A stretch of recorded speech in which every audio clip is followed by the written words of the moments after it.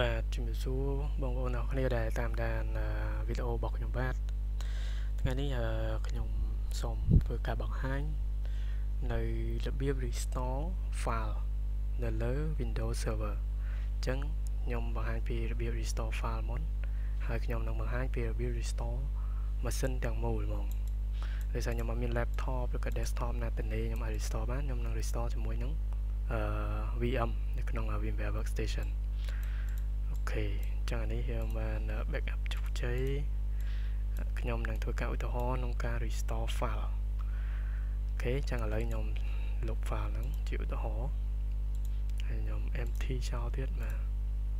អញ្ចឹងនៅពេលដែលខ្ញុំលុបចោលអស់បែបនេះក្នុងករណីជា user គាត់ថាបងបងកុំព្យូទ័រខ្ញុំអឺបាត់ឯកសារខ្ញុំដឹងច្រឡំដៃលុបឬក៏វាបាត់ទៅណាទេអញ្ចឹងបងអាចជួយឆែកឲ្យ restore ខ្ញុំផង ហើយអញ្ចឹងយើងក៏នាំគាត់មកកាន់បន្ទប់របស់យើងហើយយើងនឹងធ្វើការឆែកនៅលើ server របស់យើងផ្ទាល់អូខេអញ្ចឹងនេះខ្ញុំសូម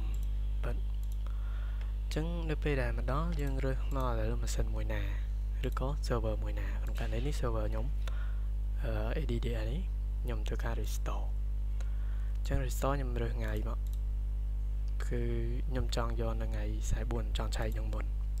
អញ្ចឹងខ្ញុំ restore ជាប្រភេទ file ខ្ញុំត្រូវថា file folder level នេះបាទហៅ file level មិន block level ឬក៏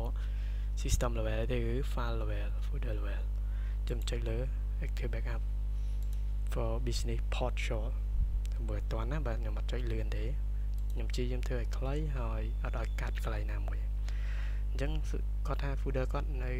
ឯកសារគាត់នៅលើ desktop អញ្ចឹងគាត់ជានៅក្នុង drive C នេះ William 1នេះហើយមើ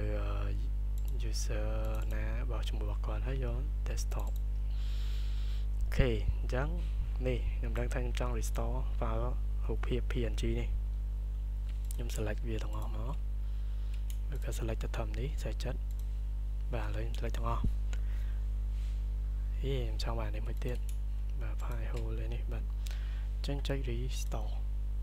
ចឹងនៅពេលចុច restore វានឹងស្គាល់ម៉ាស៊ីនហ្នឹង IP ប្រមាណហើយទីតាំង file នៅកន្លែងណាហើយយើងអាច take នៃមួយ skip ក្នុងករណីយើង select file ផ្សេងទៀតដែលវាមានហើយនៅលើម៉ាស៊ីនយើងអត់ចង់ឲ្យយក file ចាស់យកទៅ replace ទៅលើទេថាវាមានហើយយ៉ាងបាច់ restore ទៅអីមិនចឹងហ៎បាទ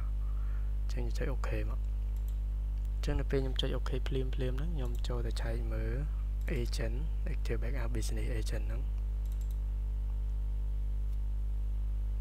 ឃើញ file ធ្លាក់មកលឿនមែនតើឥឡូវ status វានៅ restoring ឡើយ complete complete អញ្ចឹងម៉ាស៊ីនហ្នឹងខ្ញុំអាច restore file ដោយមិនចាំបាច់បិណ្ឌផងសូម្បី user គាត់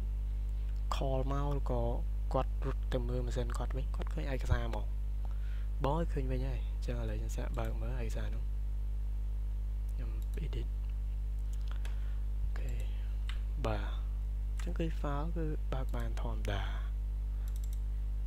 អត់មានខូចអីទេឃើញទេអត់មានខូចអីទេបាទអញ្ចឹងបានន័យថាការ restore file level នៅលើ active backup for business គឺងាយស្រួលមែនទែន យើងអាចចុចនៅកន្លែងនេះក៏បានប៉ុន្តែ user គាត់ត្រូវតែមានសិទ្ធិក្នុងការ restore file របស់គាត់ចឹងគាត់ login មួយ username password របស់ Synology គាត់មកគាត់ restore file គាត់ប៉ុន្តែយើងអត់លើកទឹកចិត្តឲ្យគាត់ធ្វើចឹងហើយ